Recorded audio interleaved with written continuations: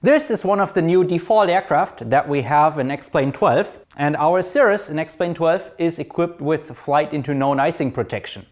That means it not only protects the wings from accumulating ice but also the horizontal stabilizer and the vertical stabilizer. And the reason that this is important is that the stabilizer provides downforce in normal flight. Most of the weight of the aircraft is in front of the center of lift, so the stabilizer needs to provide downforce to counteract that moment. What happens if you accumulate too much ice on the stabilizer is that you can have a tail stall, which results in that downforce going away and the airplane essentially trying to somersault. So what we do against that, now in X-Plane 12, you can select all the surfaces like the vertical stabilizer and the horizontal stabilizer and hook them up with the various de-ice and anti-ice systems that we have in X-Plane, which includes electric heaters, pneumatic boots like you would find on a Baron or King Air, um, bleed air thermal anti-ice that you find on all the airliners, and the chemical de-ice that you will find on the Cirrus. The Cirrus um, chemical de-ice system now has a two different pumps with two different speeds. So you, you can have a normal flow rate, the max flow rate, the emergency flow rate, and of course you can fail uh, one pump, transfer to the backup pump, uh, all that good stuff. In X-Plane, you could always change the location of the center of gravity. So you could move the CG forward, which would cause the plane to be nose heavy and more stable, or you could move the CG backward, which would cause the plane to be less stable and kind of tail heavy. What has changed in X-Plane 12 is that you can define stations throughout the aircraft to load up with uh, cargo or passengers and that not only moves the CG, I mean that's easy, but what it also does is it changes the moment of inertia around all the axes of the airplane. So if you put more weight in front of the CG and behind the CG that might not move the CG at all, but it changes the moment of inertia around this axis as uh, opposed to having all the weight concentrated in the center. So what X-Plane designers can do now is define where actual weight goes in the airframe and thereby dynamically change the moment of inertia as you load the airplane. So the airplane will feel differently with more passengers and more cargo in it, not only in that it's heavier and maybe more nose heavy or more tail heavy, but it also feels heavier because of the change in moment of inertia. Another big change in X-Plane 12 is that you can assign each individual control surface on each wing its own hydraulic system. In X-Plane 11 it was a very simple thing, like you could either have hydraulically actuated flight controls or not. But in X-Plane 12 you can pick each individual aileron or flap or spoiler on or ground spoiler or flight spoiler on the left wing or the right wing and assign each one one or multiple hydraulic systems that it's powered from. So in this fictional airplane setup I have sketched here on the board, in case you lost the red hydraulic system, you would lose those individual red surfaces and could still fly on the blue and green surfaces. X-Plane 12 distinguishes trim between aerodynamic tabs and just preloading the flight controls. So if you take the tail of a 172 for example, you will have the stabilizer, the elevator, and then you will have a little trim surface at the end of the elevator which you set with your trim wheel, and then that little surface displaces the elevator to give you the desired up or down force on the stabilizer that you want. The Cirrus, on, on the other hand, works differently. The Cirrus has no tabs at the end of its flight controls. It's an aerodynamically completely clean design.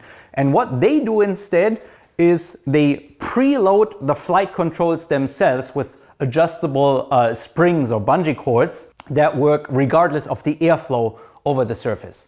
And now X-Plane 12 distinguishes between those two systems and you can combine them in one plane even. So for example, if you were flying a 182, the 182 would have the aerodynamic tabs on the stabilizer, but it would have a preload on the rudder trim. Another new feature of X-Plane 12 is that it supports dual input for all flight controls, which is cool if you are, for example, building a 737 cockpit. So with X-Plane 12 you can put two sets of yokes, two sets of pedals into the same computer, say, oh, this is the pilot control, this is the co-pilot control, and then they can either be electronically linked um, or if you are building the hardware setup, mechanically linked, obviously. And then in normal operation, of course, both will control the same aircraft. I say we go to Vermont. It's too cold. I say we go to Bermuda. Vermont. Bermuda. Vermont. So both will control the same flight controls. What can then happen in X-Plane 12, you can have individual jams of control surfaces. So for example, you could jam the left aileron, which would jam all the ailerons. So you could no longer wiggle on the yoke and uh, it, it wouldn't respond. What you can then do is break up the linkage between the left and right side and then you can still fly the airplane with the right yoke and the right aileron and that gives you at least a little bit of roll control in case the left side has failed. So with X-Plane 12, two sets of controls, either by plugging in two joysticks, that works, or by assigning one side of the flight controls from data refs, from a plugin over multiplayer, for example. If you fly the new A330 in X-Plane 12, you will notice that when you push the throttle all the way forward, it goes click, click, click into those detents here. Those detents command certain power settings to the full authority digital engine control system.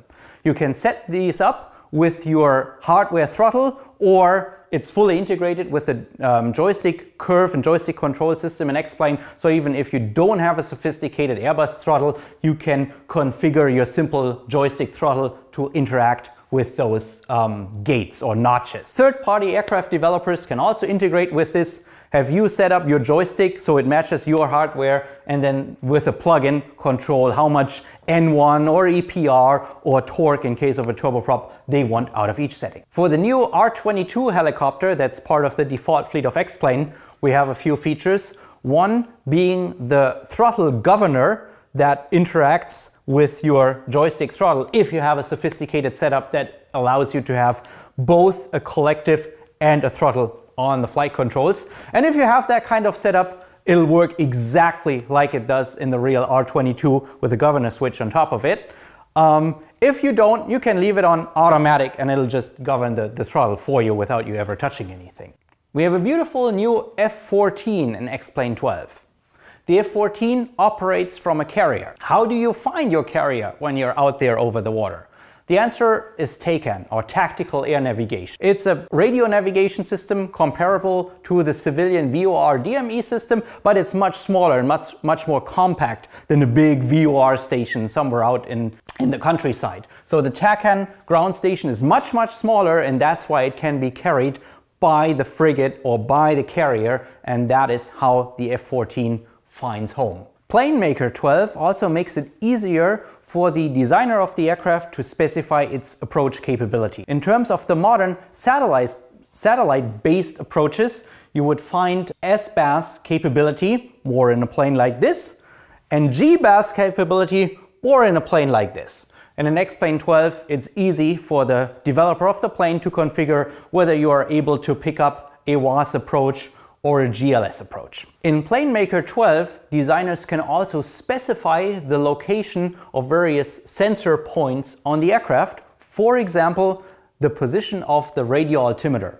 What happens in real life is that the radio altimeter sensor is often located somewhere in front of the gear so that the readout of the radio altimeter will depend on the deck angle of the aircraft. The X-Plane FMS and autopilot can work together to fly a VNAV descent. Up until now we were using a system that originally came out of X-Plane 6 where you could pretty much only define altitudes at waypoints and it would just connect the dots, play a game of connect the dots and hit the altitude at each waypoint. The system in X-Plane 12 is a little bit more sophisticated in that the airplane can specify what the idle path would look like and then you can specify hard constraints or between constraints or soft constraints at uh, waypoints and X-Plane will try its best to fit the idle path through the constraints or insert geometric segments in between as it needs to. So occasionally on the uh, navigational display you will see those green donuts in the flight plan, which are deceleration segments where the airplane, for example, will level off to slow down to 250 knots below 10,000 feet. And that's what would happen here. In X-Plane 12, you always need to be on the lookout for cold weather. What happens in cold weather is that the pressure levels of the atmosphere are closer together, as opposed to warm weather, which spaces the pressure levels further apart. And since the altimeter in your aircraft just indicates which pressure level you're flying on, you might assume you're cruising along at that level, but if it's a very cold day, you're actually flying at this pressure level until you hit that obstacle on that mountain. And then you're both cold and dead.